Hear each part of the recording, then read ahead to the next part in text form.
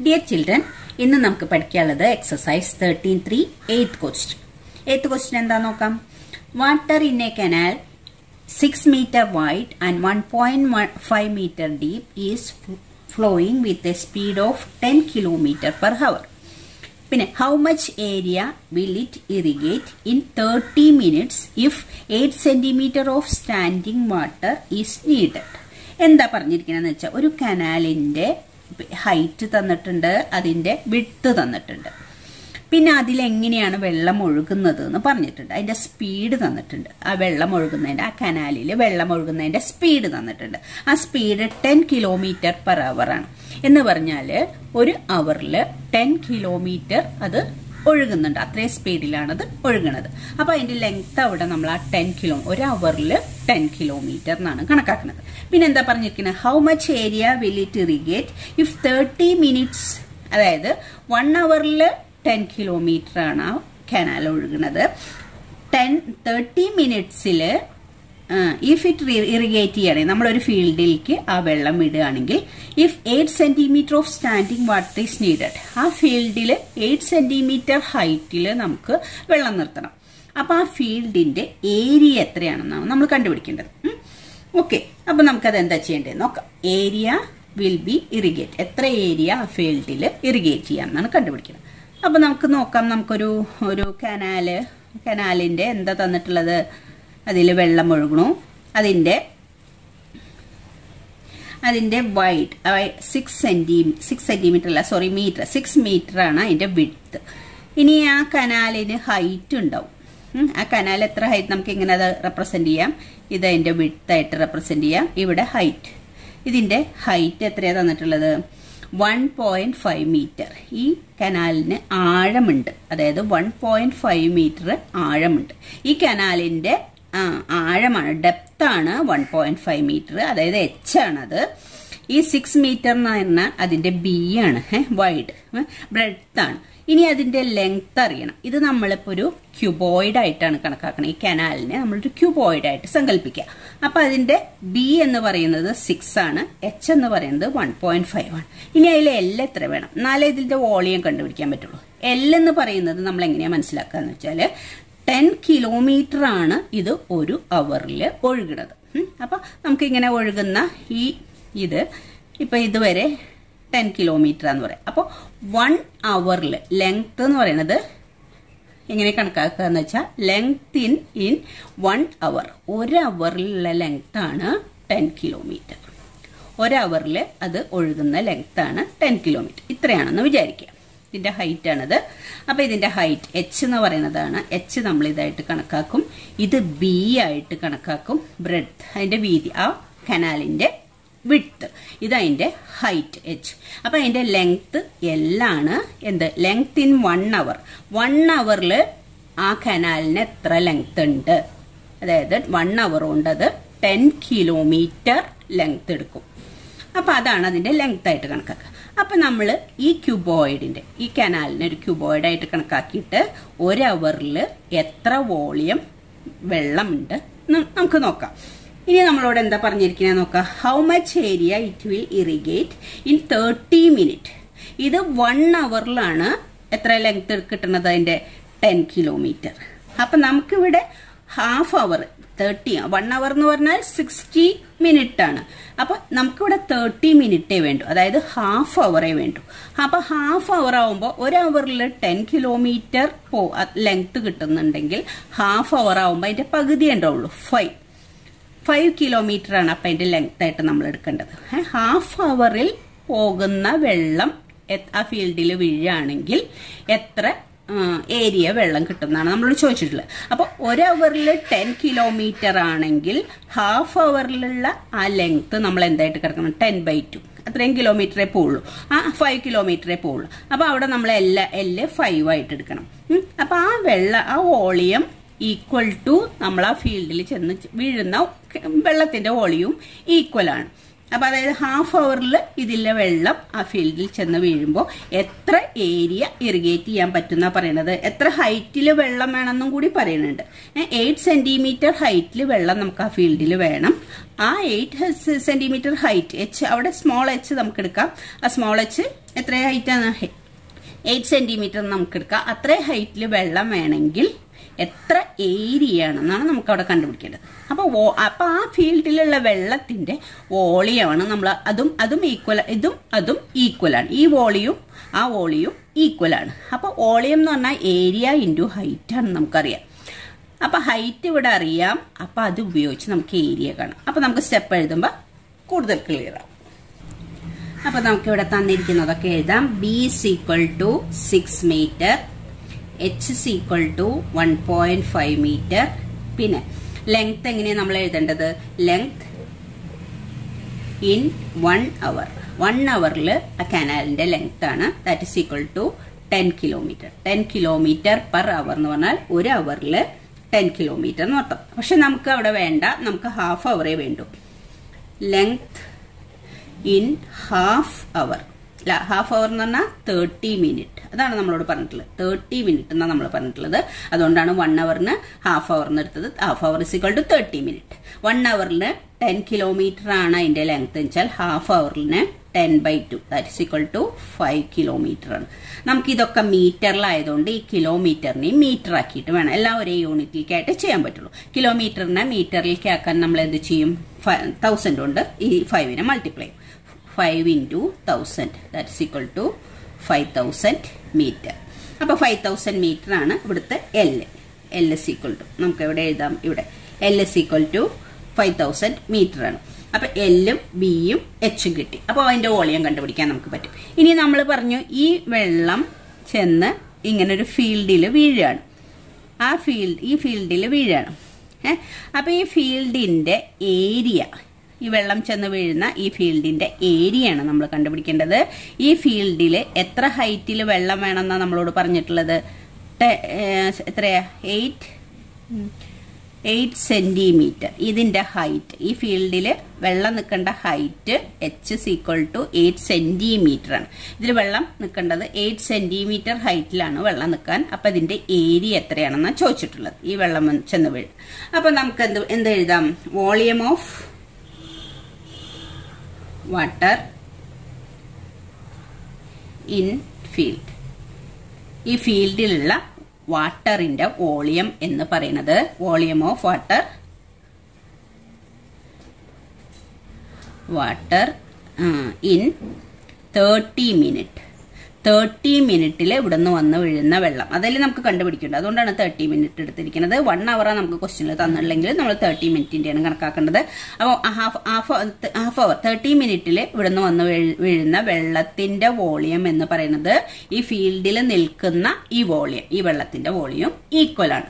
Equal ആണ്. Same കാരണം ഇതിന്റെ വോളിയം എന്ന് പറഞ്ഞാൽ ഇവിടുന്നല്ലേ വന്ന് വീഴുന്നത് ഈ വെള്ളം. അപ്പൊ ഈ വോളിയം ഇതിൽ വന്ന് വീഴുന്ന വെള്ളത്തിന്റെ വോളിയം ഈക്വൽ ആണ്.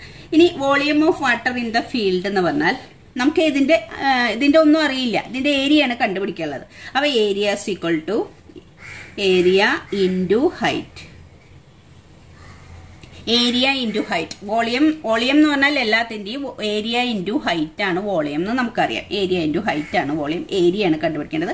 ഹൈറ്റ് നമുക്ക് തന്നിട്ടുണ്ട്. ഹൈറ്റ് ഇതിൽ എത്ര വെള്ള സ്മോൾ എച്ച് എത്ര തന്നിട്ടുള്ളത്? എയ്റ്റ് സെന്റിമീറ്റർ എന്നാണ് തന്നിട്ടുള്ളത്. That is equal to volume of water in അതിന്റെ ഫോമിൽ എന്താ? എൽ ബി എച്ച് വരിക. L into B into H that is equal to ഇതിന്റെ area equal to area into ഇവിടുത്തെ ഹൈറ്റ് എത്ര തന്നിട്ടുള്ളത്? എയ്റ്റ് സെന്റിമീറ്റർ ആണ്. ഇതൊക്കെ മീറ്ററിലായതുകൊണ്ട് അതും നമുക്ക് മീറ്ററിലാക്കണം അപ്പം സെന്റിമീറ്ററിനെ മീറ്റർ ആക്കാൻ ഹൺഡ്രഡ് കൊണ്ട് ഡിവൈഡ് ചെയ്യണം. സോറി അത്രയും മീറ്റർ ആയി. അപ്പൊ ഇതും മീറ്ററിലേക്ക് ആക്കി. അപ്പൊ ഇവിടെ നമുക്ക് വേണമെങ്കിൽ എഴുതി വെക്കാം. H is equal to eight centimetre that is equal to eight by hundred metre ഇതെല്ലാം മീറ്ററിലായതുകൊണ്ട് ഇതിനി നമ്മൾ മീറ്ററിൽ അപ്പൊ എച്ച് അതുകൊണ്ടാണ് എയ്റ്റ് ബൈ ഹൺഡ്രഡ് എന്ന് പറയുന്നത് മീറ്റർ ആക്കിയത്. ഇനി എൽ എത്രയാണ് നമുക്ക് ഇവിടെ കിട്ടിയിട്ടുള്ളത്?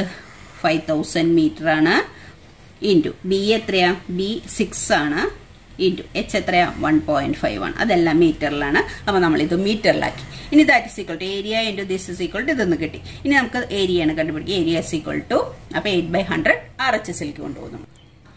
Area is equal to area is equal to five thousand into six into one point five divided by eight by hundred R H S elk പോകുമ്പോൾ നമ്മളതെങ്ങനെ എഴുതും? ഹൺഡ്രഡ് ബൈ എയ്റ്റ് ആക്കി എഴുതും. ഇനി ഇത് കട്ട് ചെയ്ത് പോവാൻ വേണ്ടി ഈ എയ്റ്റും സിക്സും കട്ട് ചെയ്താൽ ഇവിടെ ത്രീ ടൈംസ് ഇവിടെ ഫോർ ടൈംസ് പിന്നെ ഈ ഫോറും ഹൺഡ്രഡും കട്ട് ചെയ്താൽ ട്വന്റി ഫൈവ് ടൈംസ് പിന്നെ എന്താ ഉള്ളത്? ഇത് മൾട്ടിപ്ലൈ ചെയ്യണം. ത്രീ ഇന്റു ട്വന്റി ഫൈവ് എന്ന് പറഞ്ഞാൽ സെവന്റി ഫൈവ് ആണ്. ഫൈവ് ഇന്റു ഫിഫ്റ്റീൻ എന്ന് പറഞ്ഞാലും സെവന്റി ഫൈവ് ആണ്. അപ്പോൾ seventy five into seventy five ഇവിടെ പോയിന്റ് നീക്കിക്കൊണ്ട് ഇവിടുത്തെ ഒരു സീറോ കട്ട് ചെയ്യണം. അപ്പോൾ നമ്മൾ ഇതെല്ലാം കൂടെ മൾട്ടിപ്ലൈ ചെയ്യുമ്പോൾ നമുക്ക് five lakh sixty two thousand five hundred metre square എന്ന് കിട്ടും. ഇത്രയാണ് നമ്മുടെ area area of the field ഈ ഫീൽഡിന്റെ ഏരിയ ഇത്രയും മീറ്റർ സ്ക്വയർ ആണ്. മീറ്റർ സ്ക്വയറിനെ നമ്മൾ ഇതിൽ നമ്മുടെ ടെക്സ്റ്റിൽ ഹെക്ടേഴ്സിലേക്ക് ആക്കിയിട്ട് എഴുതിയിരിക്കുന്നത്. ആ ഫീൽഡിന്റെ ഏരിയ ഹെക്ടേഴ്സിലേക്ക് ആക്കിയിട്ട് എഴുതുക അപ്പോൾ മീറ്റർ സ്ക്വയറിനെ ഹെക്ടേഴ്സിലേക്ക് ആക്കണമെങ്കിൽ ടെൻ തൗസൻഡ് കൊണ്ട് ഡിവൈഡ് ചെയ്യണം.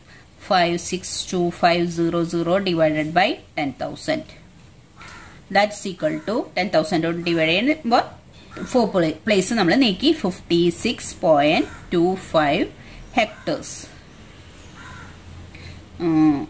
hectares എന്ന് എഴുതണം. ഏഹ് fifty six point two five hectares ആണ് ഇതിന്റെ ആൻസർ അപ്പോൾ ഇതിന്റെ ആൻസർ കഴിഞ്ഞു. ഇത്രയും നിങ്ങൾക്ക് ക്ലിയർ ആയി വിചാരിക്കും നെക്സ്റ്റ് നയൻത് ക്വസ്റ്റ്യൻ നമുക്ക് നോക്കാം. A farmer connect a pipe of internal diameter twenty centimetre from a canal in a cylindrical tank in her field which is 10 meter in diameter and 2 meter deep. If water flows through the pipe at the rate of 3 km per hour, how much time will the tank will filled?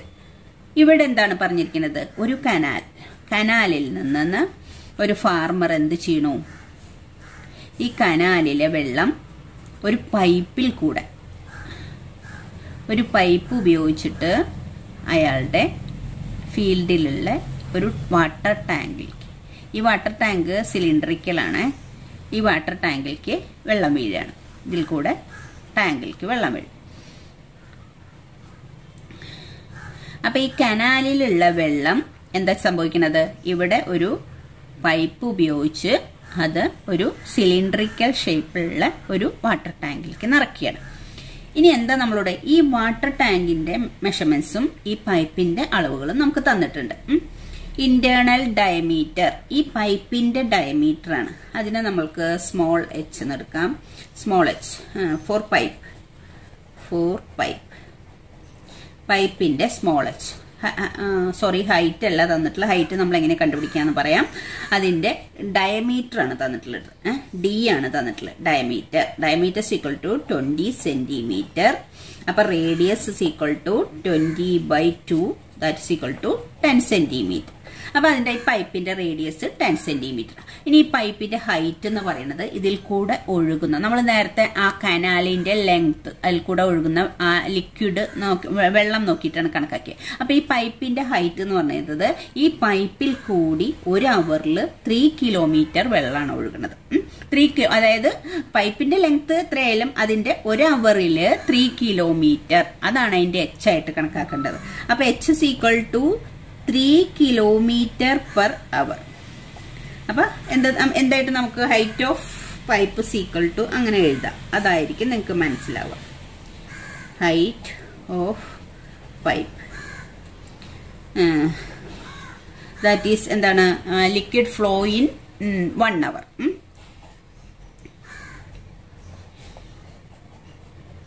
in one hour one അവറിൽ liquid പോകുന്നത്. ഇതിൽ കൂടെ പോകുന്ന liquid എത്രയാണ്? Three kilometre ആണ്.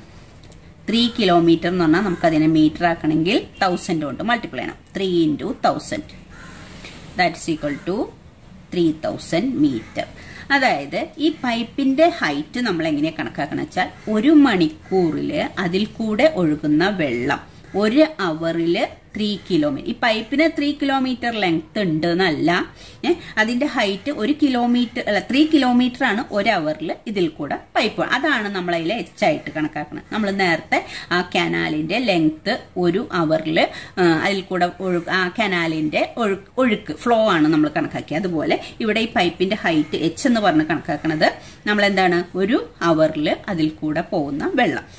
അപ്പൊ അത് three kilometre വെള്ളമാണ് പോണത്. അത് അപ്പൊ അത് മീറ്റർ ആക്കി. ഇതെല്ലാം മീറ്റർ ആയതുകൊണ്ട് മീറ്റർ ആക്കിയതുകൊണ്ട് ത്രീ തൗസൻഡ് മീറ്റർ ആണ് ഇവിടുത്തെ നമ്മുടെ എച്ച് ഇനി നമുക്ക് ഈ ടാങ്കിന്റെ മെഷർമെന്റ്സ് നോക്കാം. ഫോർ ടാങ്ക് ഫോർ ടാങ്ക് അതിന്റെ മെഷർമെന്റ്സ് എന്തൊക്കെയാന്ന് പറഞ്ഞത് അതിന്റെ ഡയമീറ്റർ തന്നിട്ടുണ്ട് which is ten metre diameter and two metre deep ഇതിന്റെ ഡയമീറ്റർ ആണ് ടെൻ ഇതിന്റെ ഡയമീറ്റർ ഈ ലെങ്ത് അതായത് അത് ടെൻ മീറ്റർ ആണ് ഇതിന്റെ ഡീപ്പ് ഈ ഇതിന്റെ ആഴം. അതായത് എച്ച് എച്ച് ആണ് ടു മീറ്റർ അപ്പൊ നമുക്ക് അതിന് ക്യാപിറ്റൽ എച്ചും ഇത് ഇതും സിലിണ്ടർ ആണ് പൈപ്പും സിലിണ്ടർ ആണ്. അപ്പൊ ഡയമീറ്റർ ആണ് തന്നിട്ടുണ്ട് ക്യാപിറ്റൽ ഡി എന്ന് കൊടുക്കാം. ടെൻ മീറ്റർ ആണ്. അപ്പൊ capital R radius ten by two that's equal to five metre ആണ്. പിന്നെ അതിന്റെ ഡീപ്പ് ക്യാപിറ്റൽ എച്ച് കൊടുക്കാം. H equal to two metre അപ്പൊ ഇത് രണ്ടും സിലിണ്ടർ ഷേപ്പാണ് പൈപ്പ് ആയാലും ഇതായാലും നമ്മൾ സിലിണ്ടർ ഷേപ്പാണ് അതിന്റെ റേഡിയസും ഹൈറ്റും ആണ് വോളിയം കണ്ടുപിടിക്കാൻ വേണ്ടിയിട്ടത്. ഇവിടെ പൈപ്പിന്റെ ഹൈറ്റ് എന്ന് പറയുന്നത് നമ്മളെടുത്തുള്ള ത്രീ തൗസൻഡ് മീറ്ററും റേഡിയസ് ടെൻ സെന്റിമീറ്ററും ഈ ടെൻ സെന്റിമീറ്ററിനെ നമുക്ക് മീറ്റർ ആക്കണം. അപ്പൊ ടെൻ ബൈ ഹൺഡ്രഡ് മീറ്റർ അതിനെ മീറ്റർ ആക്കി നമുക്ക്. ടെൻ ബൈ ഹൺഡ്രഡ് മീറ്റർ എഴുതി. പിന്നെ ടാങ്കിന്റെ കേസിൽ അതിന് റേഡിയസ് ഫൈവ് മീറ്ററും ഹൈറ്റ് ടു മീറ്ററും ആണ്. ഇനി നമുക്ക് എന്താ അറിയേണ്ടത്? ഇതിൽ ചോദിച്ചിട്ടില്ല? എത്ര ടൈം കൊണ്ട് ഈ ടാങ്കിൽ വെള്ളം നിറയും. അപ്പം നമ്മൾ എന്താ ചെയ്യേണ്ടത്? എത്ര ടൈം കൊണ്ട് ഈ ടാങ്കിൽ വെള്ളം നിറയെന്ന് വെച്ചാൽ ഈ ടാങ്കിൽ വരുന്ന വെള്ളം ഇവിടുന്ന് ഒഴുകി വരുന്ന വെള്ളമാണ് അപ്പൊ ഇതിന്റെ ഈ ടാങ്ക് നിറയാനുള്ള ഈ ടാങ്കിന്റെ വോളിയത്തിനെ ഈ പൈപ്പിൽ കൂടെ പൈപ്പിൽ കൂടെ ഒഴുകുന്ന ആ വെള്ളത്തിന്റെ വോളിയം കൊണ്ട് ഡിവൈഡ് ചെയ്താൽ എത്ര ടൈം കൊണ്ട് നമുക്ക് ഈ ടാങ്ക് പൈപ്പ് ഉപയോഗിച്ച് നിറയ്ക്കാന്ന് കണ്ടുപിടിക്കും. അപ്പൊ നമ്മുടെ ഫോമുല ടൈം റിക്വയേർഡ് ആണ് കണ്ടുപിടിക്കുന്നത് is equal to volume of tank ടാങ്കിന്റെ വോളിയം അതായത് ടാങ്ക് എന്നറിയാൻ എത്ര ടാങ്കിൽ എത്ര വെള്ളം കൊള്ളും. അതാണ് ടാങ്കിന്റെ വോളിയം എന്ന് പറഞ്ഞത്. അടുത്തത് volume of water flow in one hour one അവറിൽ ആ പൈപ്പ് കൂടുന്ന പോകുന്ന വെള്ളത്തിന്റെ വോളിയം കൊണ്ട് ഡിവൈഡ് ചെയ്താൽ എത്ര സമയം കൊണ്ട് ആ ടാങ്ക് നിറയ്ക്കാൻ പറ്റും എന്ന് പറയാം. അപ്പൊ ആദ്യം വോളിയം ഓഫ് ടാങ്ക് കണ്ടുപിടിക്കുക. സെപ്പറേറ്റ് കണ്ടിട്ട് ചെയ്യാൻ നല്ലത്. Volume of tank of tank is equal to എന്താ ഫോമിലെ വരുന്നത്? Pi R square H cylinder ആയതുകൊണ്ട് പൈ ആർ സ്ക്വയർ എച്ച് അതിൽ പൈക്ക് നമ്മൾ ഇവിടെ വാല്യൂ കൊടുക്കണ്ട. കാരണം ഇതിലും പൈ ഉണ്ട് ഇതിലും പൈ ഉണ്ട്. അപ്പൊ നമുക്ക് കട്ട് ചെയ്ത് പോകും അപ്പൊ പൈ ഇന്റു ക്യാപിറ്റൽ ആർ എത്രയാ? ഫൈവ് ആണ്. Five R സ്ക്വയറിനായതുകൊണ്ട് five into five H two ആണ്.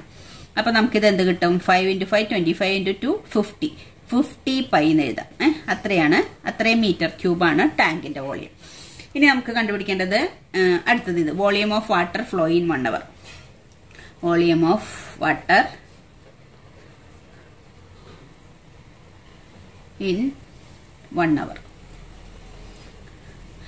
അത് അതും pi R square H that's equal to pike value കൊടുക്കണില്ല. ആർ എത്രയാണ് ഇവിടെ?